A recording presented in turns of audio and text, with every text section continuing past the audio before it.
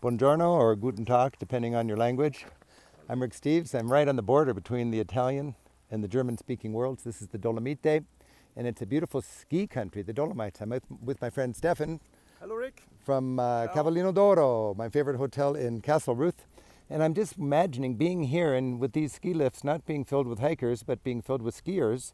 And all over the Alps now, when you have a ski slope, you also have plumbing. And here we see shrouded in green the snowmaking machines that make sure the quality of the snow is good. Why do we have these snowmaking machines here, Stefan? Because the slopes are better in winter if they are prepared with the with the with this compact snow, and they also last longer. So skiers enjoy it more.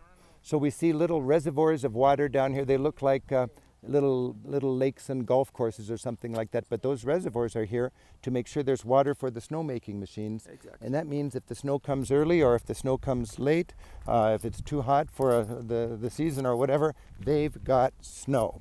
It's just an important thing to remember as Europe is grappling with um, relying on the economy of skiing, an unpredictable climate, and the higher expectations of the winter travelers. They've got beautiful ski slopes and they've also got snowmaking machines.